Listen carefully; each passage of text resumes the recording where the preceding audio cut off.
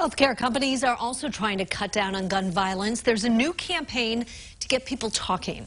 WCIA3's Amanda Brennan is live in our newsroom with more on what questions doctors hope you will be asking. Amanda. Yes, and Jennifer, discussing guns at the dinner table isn't something that normally happens, but health experts say it's a topic that needs to be aired out. Almost 200 facilities, including OSF, have just the way to get the conversation started.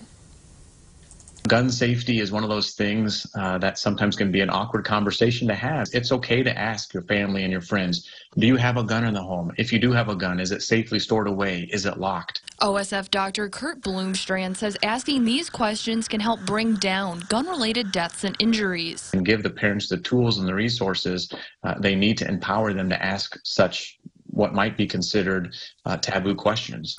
OSF is one of nearly 200 healthcare organizations giving them those tools. It's part of the national gun safety movement called Doesn't Kill to Ask. And here's why it's so important. A New England Journal of Medicine study says it's the number one killer among kids ages 1 to 19. It could be from, you know, homicides, victims of gun violence. It could be from suicides. It can be from unintentional discharges of firearms in a house or somewhere else. Across the country, 13 children die from guns every day.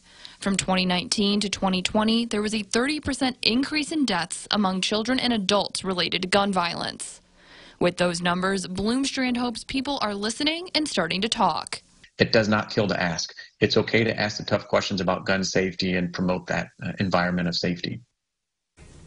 In the past, before 2020, car crashes were the leading cause of death in children. He says there are many safety measures to make cars safer, and he wants to make sure there's something similar in place for gun violence, too.